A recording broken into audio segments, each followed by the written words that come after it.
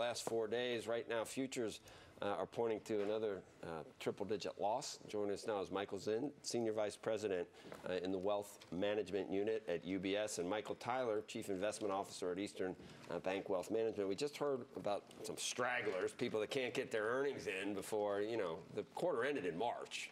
It's May, and we're still hearing from these people. But so mostly the earnings season is over. What, what how do you what do you give it? A, a, a B B plus B minus? Yeah, that's fair. Beat expectations. They weren't too high. You know, I, I would say overall we've had this sort of term the Chihuahua market. You know, it makes a lot of noise. It doesn't really go anywhere. Um, and the, the rallies in the past have kind of faded out, I'd say, because you had weaker oil, you had stronger dollar. This time around, you've got the rally again but you've got some stronger oil, you've got some weaker dollar. So You've got cyclical participation. You know, that was one of the better stories, I think, of the earnings season. We've just come a long way from where we were in January and February, though. Yeah. Well, there's there's been this. It doesn't take much to make investors feel nervous. You know, I mean, this we've been sort of camping under this volcano. You know, worrying about the when Mount QE is going to blow. You know, and so investors have shown a lot of evidence of, you know, being very short the market, having big VIX positions, having you know overweight positions in the staples and defensive names, and so people have been worried, and, and for reason. I mean, there, there, there are clearly there are issues out there, but you know it's possible with this cyclical leadership that you've got a chance of doing better here, and not a lot of people believe it still. That's probably a good thing. Um, but if you get energy, if you get industrials, if you get materials, if you get some legs under those names and those industries, you may have a shot at achieving some level of growth. We got up to the old, we didn't get to the old highs. Right. And, we turned down again. And there's yeah. a, you can look at it, and I don't know what a technician would say. But this is after the two, one of the, or both of the, the biggest worries, the headwinds are, have both reversed. Oil has started going back up. That's what we wanted. God, if oil goes down, we can't buy stocks. And then the dollar yep. has weakened, and we still didn't get the new. And all we managed was 0.5 percent on the GDP. Uh, GDP. Michael Tyler. I don't know. We got a lot of things we wanted, and we didn't push to, to new highs. And there is a global problem with growth that isn't even being helped with, with all these you know, negative rates, central banks easing, and we still can't seem to get you know, above stall speed. And I wonder when the market takes well, yeah. note of that. I, am I'm, I'm somewhat concerned about that. And also, uh, the prospect of a Trump presidency is a little bit more likely now than it was yesterday or the day before. Um, his impact on what markets might do is also somewhat uh, concerning uh, if you look at his economic policies.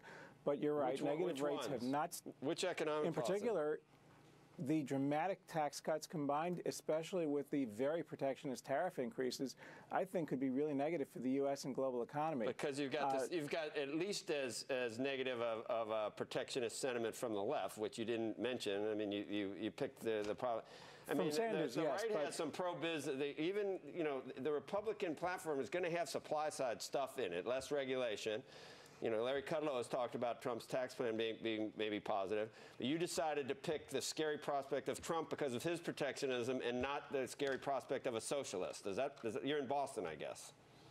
Uh, well, I, I, think it's more simply that uh, Sanders' path to a nomination in the presidency is tougher than, than Clinton's. Well, she's the, uh, and you, you assume she'll move. You assume she'll move back to the center then, because she's out there too, much further left uh, she, than on, on, a lot of issues. That does not concern you though, economically.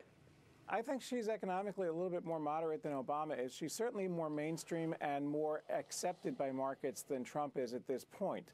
But we'll see how that goes. We're, we're still early days in the, in the general election campaign. But you're, you're right also that negative interest rates haven't really stimulated demand all that much. Um, and there is concern about what that will do to the global banking system. So right now we're at a point where we've had five straight quarters of earnings declines. We have not seen that even with a lower dollar, even with oil prices up, we haven't seen the market hitting new highs. So I think that we could be in for a summer that's a, a little bit rocky before finally you get to third and fourth quarter. I think the earnings comparisons start looking much more favorable. Uh, and at that point, I think you can see the market hitting new highs. But it's going to be rocky between here and there. Michael, do you you, you've been around for the last eight years. You think uh, the next four years under Trump would be worse than the last eight years for the private sector, or, or, or what? Well, you, you, can't rule them out. I mean, I guess if, if a 5,000 to one long shot in in uh, England, you know, can win the uh, the uh, soccer tournament, Leicester. you know. No, I the, know. uh. So you're yeah. saying Trump's like a 5,000 to 1 shot? I'm saying you, you can't rule anything out Well, I'm because not- I'm not ruling that Statistically, out. right now, Yeah. he is statistically it, most most sentient You- people would tell you that the numbers don't work for him right now. I know, but that's I'm what just- they've been telling. It. But you know, the There- black the black swan is There's that sighted off the unconventional horizon, wisdom you know? coming coming my way. Uh, Right. so they, there have Right. been there have been some people that have underestimated him on the. in I the- heard about those. people, Yeah. Yeah. No, we'll see. Yeah, there's not been a lot of real policy specifics. Obviously, um, there's been more of a, of a of a charismatic effect that a lot of people have focused on, and I think that's been to his credit and to his success. So I think as we get more serious, as we get past the convention, as we get to policy, as we get to VPs being named. Um, as we get probably more coalescing, you know, uh, around him, we'll probably see, you know, how serious it is, and the market can begin to make up its mind. For now, we've got more uncertainty But, injected. given, but my question is, given that Yeah. I mean, he did operate in the private sector, and Yeah. he did, you know, run a company and actually had private sector experience. You're willing to say, just from here on out, that that what would happen over the next four years would be worse than the private sector treatment we've gotten over the past eight years? It's an unknown with Trump. I mean, it Really? just is an unknown because the, the level of specificity. I'm just saying it's hard is- to get for the, if you're a Yeah. private sector guy. It's hard to see that it could actually be, be much much worse on the private sector.